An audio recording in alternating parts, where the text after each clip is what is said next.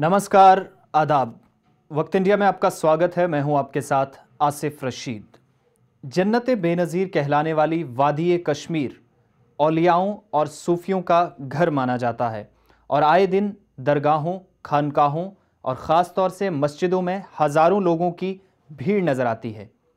ऐसा ही एक क्षेत्र है शोपियाँ का गूल चक्री, जहाँ भारत की तीसरी बड़ी जामिया मस्जिद स्थित है। एक ऐसी जामिया मस्जिद जहाँ हज़ारों लोगों की भीड़ लगी रहती है और ख़राब हालात का कोई असर इन लोगों पे नहीं पड़ता। इस मस्जिद का इतिहास क्या कुछ है और इससे जुड़ी कुछ अहम जानकारी हमारे संवाददाता एजाज डार की इस रिपोर्ट में देखिए।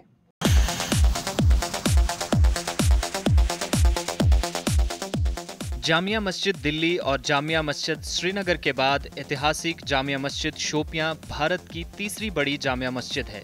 ये मस्जिद शोपियाँ की खूबसूरत पहाड़ों के दामन में वर्ष 1361 में बनकर तैयार हुई और कई सदियाँ बीत जाने के बाद भी शोपियाँ की गूल चक्री में स्थित ये ऐतिहासिक जामिया मस्जिद मौजूदा समय में भी लोगों की आँख का तारा बनी हुई है।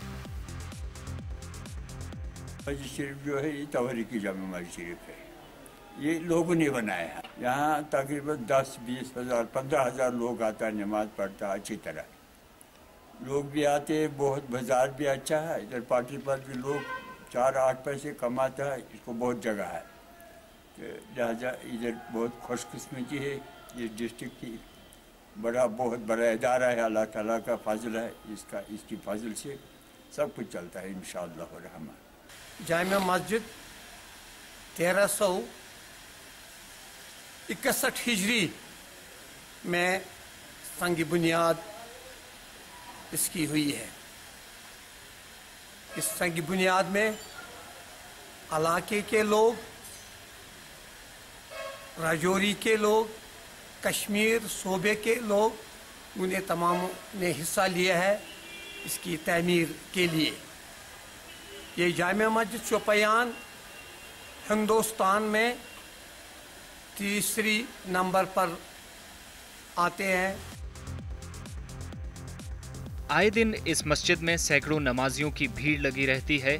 कश्मीर को सूफिज्म का घर माना जाता है और खराब हालात के बावजूद भी घाटी के विभिन्न जगहों पर दरगाहों, मस्जिदों और खानकाहों पर हज़ारों की भीड़ लगी रहती है और ऐसा ही कुछ वातावरण है शोपियाँ की जामिया मस्जिद का भी, जहाँ तनाव जैसी स्थिति के बावजूद भी मस्जिद से जुड़े मुख्य बाज़ार में खूब रौनक सजी रहती है। हर दिन लोग रोज़गार के लिए बाज़ार में निकलते हैं, लेकिन इस मस्जिद के बाज़ार में होने से बाज़ार में चार चाँद लग जाते हैं। मस्जिद की सबसे अच्छी बात सैकड़ों साल पुरानी वो लकड़ी है, जो इस मस्जिद की खूबसूरती को दुगनी कर देती है। वहीं बड़े दिनों पर मस्जिद में मौजूद हज़रत इमाम हुसैन और हज़रत पीरान पीर दस्तगीर के मोहे मुकद्दस का भी दीदार कराया जाता है।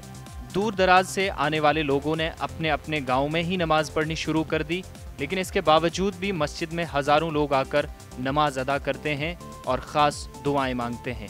मस्जिद आज भी कश्मीरियत, ख़ास तौर से कश्मीर में सूफिज़म का सबूत देती हुई नज़र आती है और ज़्यादा से ज़्यादा लोगों को अपनी ओर आकर्षित करती है। एजाज डार, वक्त इंडिया, शोपियाँ।